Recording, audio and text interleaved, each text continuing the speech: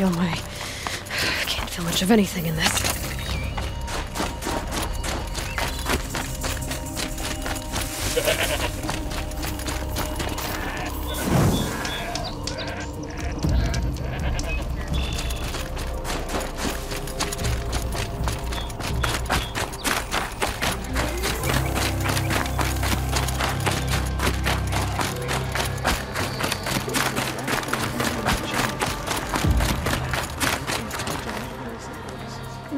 Fish, but once it's dried in the sun a while, it'll be tasty enough.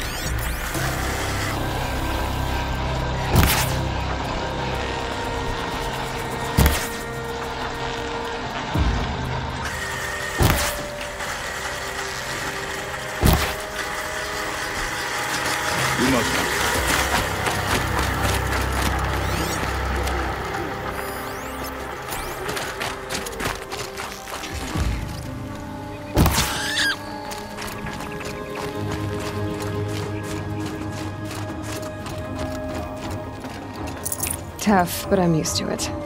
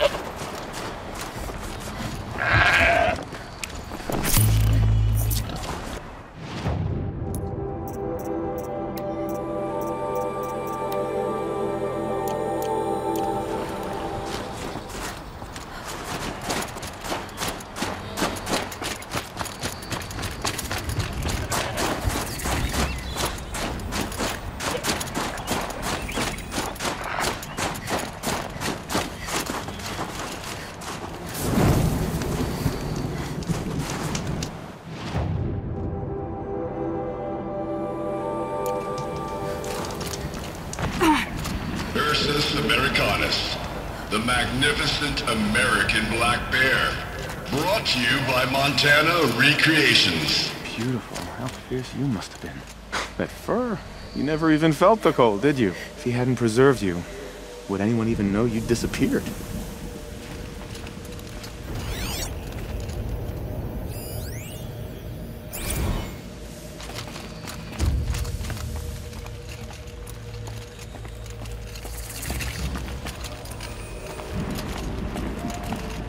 I hate to interrupt. Oh, I... Yes. Hello, I... Well, an outlander at the Shrine of Forgotten Beasts. Welcome. I'm Enjuk. Uh, Aloy. The Shrine of... what? When the old world still breathed, a great man built a tiny totem to this beast and stored the visage inside. When the totem is placed on the pedestal, the animal is painted onto the empty air, and the beast lives again. Well, almost. There are seven pedestals. Where are the other six figurines? I found this one in the wilds. Remembered the indentations in the pedestals here and saw how they matched the base of the totem. But as you say, it's one of seven, isn't it? the great Montana recreations must have made more, but time has scattered them. So these totems... The images they show are of animals that no longer exist. They're gone, like the old ones. So it seems. to think such magnificent creatures are lost to us, that we never even knew they were here. We rely as much on beasts as we do on machines. For food, for warmth, but do we study them with the same fervor? I do. For example, I have this theory about foxes. Why do foxes have red fur? Think about what they eat. Meat? Raw meat. Bloody meat. See? Natural causation. Logical connections. It only makes sense. You've thought a lot more about foxes than I have. I've got a few more figurines for you, Enjuk.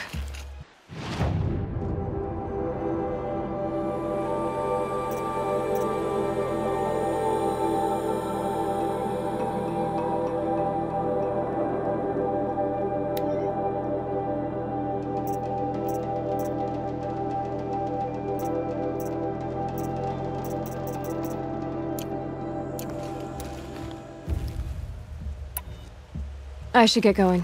Of course, of course. I've taken up so much of your time already. But I don't suppose you could keep an eye out for more figurines? If I run across any, I'll bring them your way.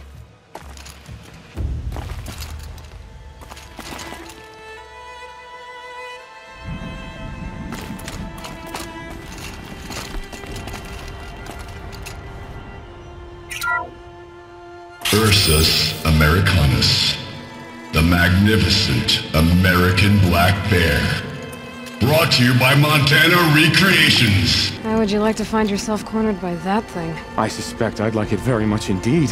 What a beautiful beast you were!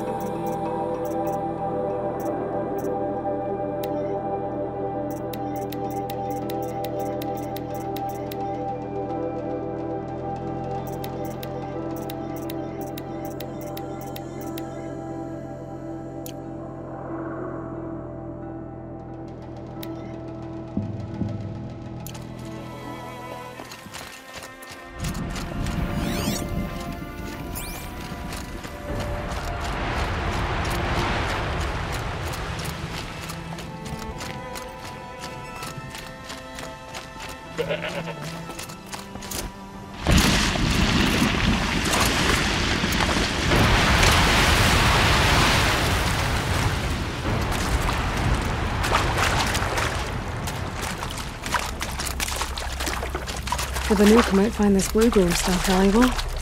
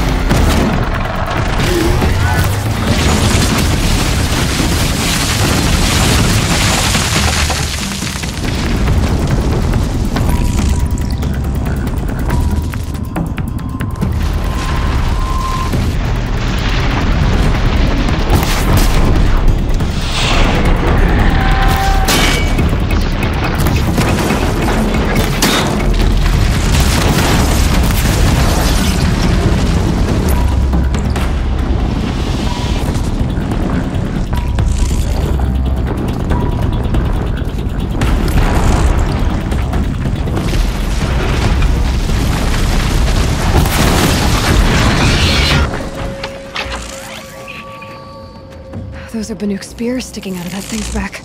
I'm not the first to try to take you down, am I?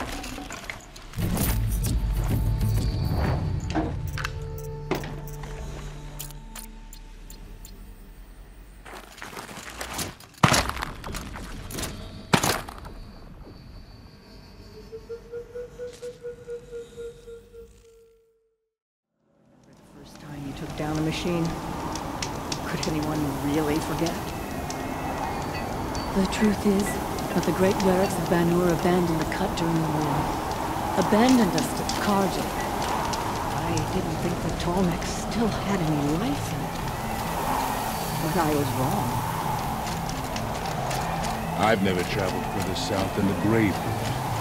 In the old days, the Mad Sun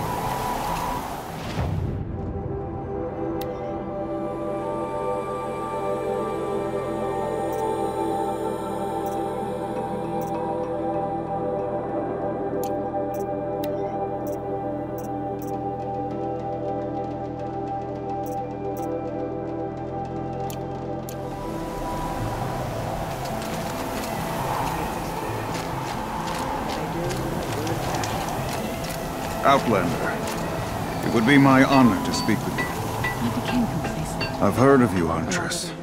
Each of the many verses of your song tells of an impossible victory. The notes echo across the cut. You shouldn't believe everything you hear. Hmm, that I know. My song used to echo around Ban-Ur. Umnak, the hunter of legendary machines. That's why I'm here. For another. They call it the claws beneath. Or they did when I was younger. Its defeat would have given my song a fine end. I, uh, I used to travel between Ban-Ur and the Cut without stopping to sleep. But this trip, my bones ache, Huntress. But you, out hunting Aratak, leading your own Werak. If half your song is true, you are the only hunter I trust to go in my place. You want me to hunt for you? Not just for me, no. For an old friend.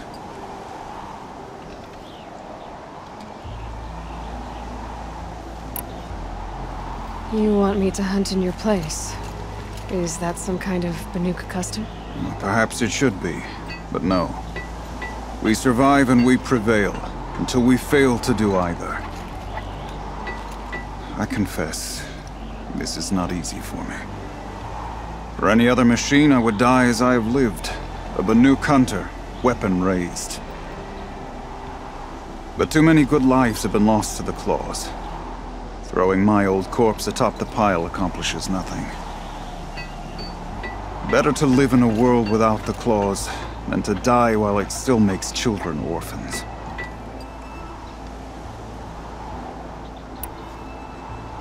Sounds like you've got a reputation. To be Banuk is to push your body to its limits. I found my limits higher than most. Fearsome machines needed killing, and in my youth, I found I had a talent for killing them. Even now, my name carries such weight that when the claws beneath re-emerged, the Werak came to me. Do you still have the same faith in yourself that your Werak seems to have? Perhaps I did. Before I held my bow in shaking hands. Noticed, for the first time, the spots on my knuckles. What a strange thing it is to be old. To stare backward and see such distance. But to stare forward at a looming wall.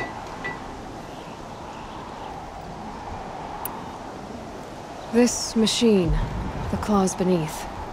Why travel all the way to the cut just to hunt it? Some songs.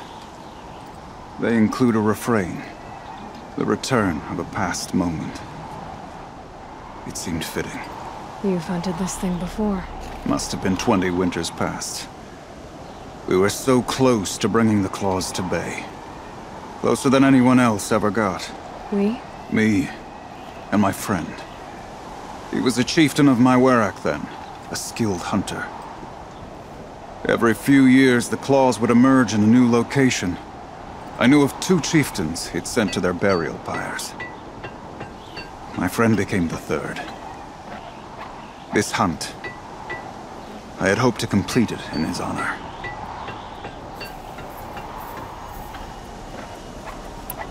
This is obviously important to you, Umnak. Are you sure you want someone else to take down this machine? No, I am no longer a match for the claws beneath. If I ever was. If I face it, it will kill me. Of this I have no doubt. The Banuk blood in my veins screams at me to take on the claws myself. But I must see it brought down. And dead men see precious little. All right, Umnak. I'll do what I can. I've no doubt you can do quite a lot. The stories say the claws beneath returns here only once every six winters. The whispers I've heard say it now makes its home on the northeast edge of the cut. Hunt well. Wait. I fought a rockbreaker not far from here. It had Banuk spears sticking from its back. That's it. That's the claws beneath. Tell me, does it still live? It wasn't easy, but I took it down. Like the blue light. I knew you were a formidable huntress, but you surpass my expectations. Here, to show my gratitude.